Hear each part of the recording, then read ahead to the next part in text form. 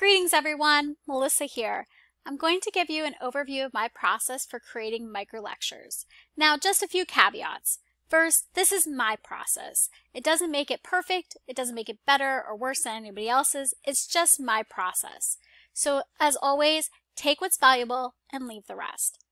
Second, it's important to know that this is a work in progress. So my process didn't always look like this. It used to be a little bit more clunky, a lot less streamlined. This is the process you're going to see after I've been developing it for several years. Does this mean this will always be my process? It's unlikely that that will be the case, but this is a snapshot in time. So let's go ahead and get started. What you're going to see here is my script. Now, I develop all my content outside my learning management system for a variety of reasons. First and foremost, because I want to ensure that all of my content is accessible by my students. Building it outside of my learning management system in things like a Google Doc or Microsoft Word will help me check for accessibility. Two, this also helps me whenever my learning management system changes or upgrades. I don't have to worry about losing my content or my formatting.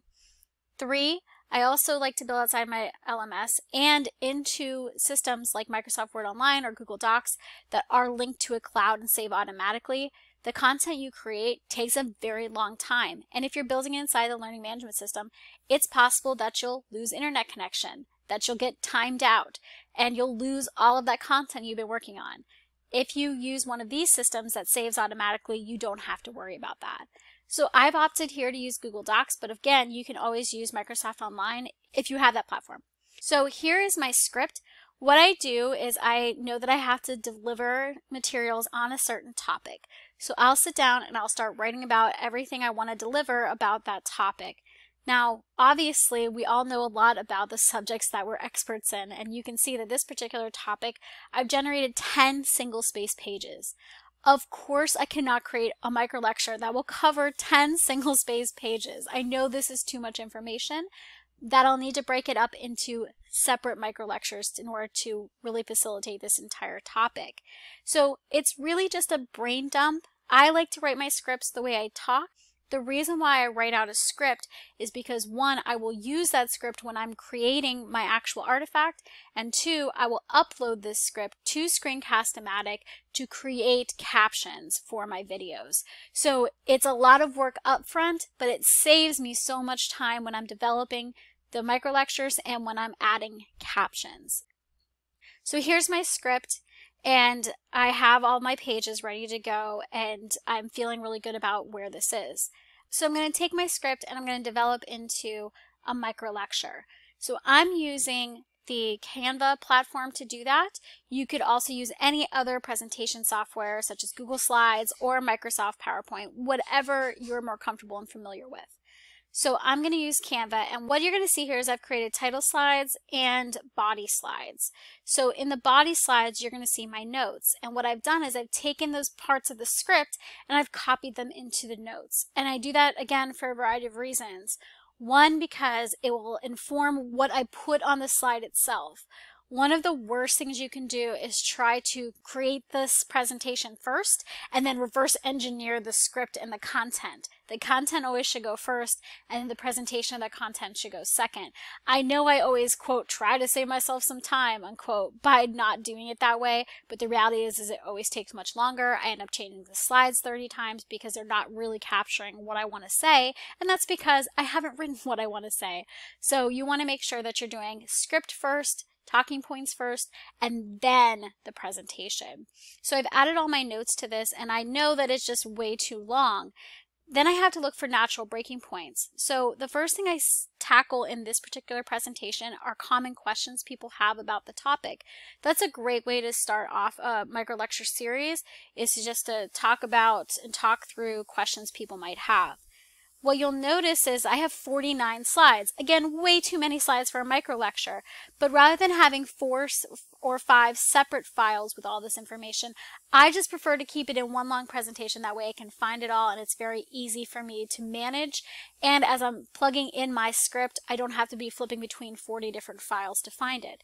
So it's all one long file. You'll notice that I have here, this is my title slide, and here is my ending slide. Again, title slide, and ending slide. They're very easy to pick out. So what you can see is my second version of this is types of rubrics. If I go down here, here's drafting rubrics. And then finally, evaluating rubrics. So again, you're looking for those natural places where your topic shifts slightly. So any of those subtopics that you're going to cover in the process of covering this huge topic, these all then become my micro lecture. Next, let's go up to here where you're going to present the information. You're going to click on present and in Canva, you're going to use presenter view and I'll show you why in a second. Once you hit presenter view, you're going to hit present and you're going to end up with two different windows. This is your audience window. Now I'm using Screencast-O-Matic to shoot this process video. So I can't also show you how to use Screencast-O-Matic while I'm using Screencast-O-Matic. I know that that's very meta. So what I'm going to do is I'm just going to take this audience window that's covering up all my great slides here, and I'm going to shrink it down. And then I'm going to take this, my presenter view, and I'm going to move it over here so I can see my script as I'm presenting my slides. And so this will have the Screencast-O-Matic. I'll capture just this little box. And over here, I'll have all of my notes and I'll be able to read and hit next and it will move to the next slide for me there. When I'm done recording, I'll hit stop recording and it will take me back to my presentation. Now, for Screencast-O-Matic, what I'm going to do is I'm going to actually upload it to my Screencast-O-Matic cloud. Now, just FYI, the Screencast-O-Matic cloud does come with the pro version, so it is the paid version. You will have to pay to get that cloud storage. I personally think it's worth it, but if you don't want to use that, you can use any other video saving platform like YouTube or Vimeo or whatever it is you prefer. When I save it to Screencast-O-Matic, what I'm going to be able to do now is I'm going to be able to share it. So I go under video details and I click my share button up here. I can either do a direct link, then I copy that over, um, and then paste that into my class, or more preferably, I'll come down here, I'll hit um, my responsive view. This will shrink and grow the page depending on the window. I'll hit captions and controls, and then I'll copy the code and just paste that into my learning management system. So that's a brief overview of how I do it. Again, lots of other ways to do it, but this is my process and I wanted to make sure you all had a sneak peek behind my creation curtain. I thank you all so much for joining me and happy course creation.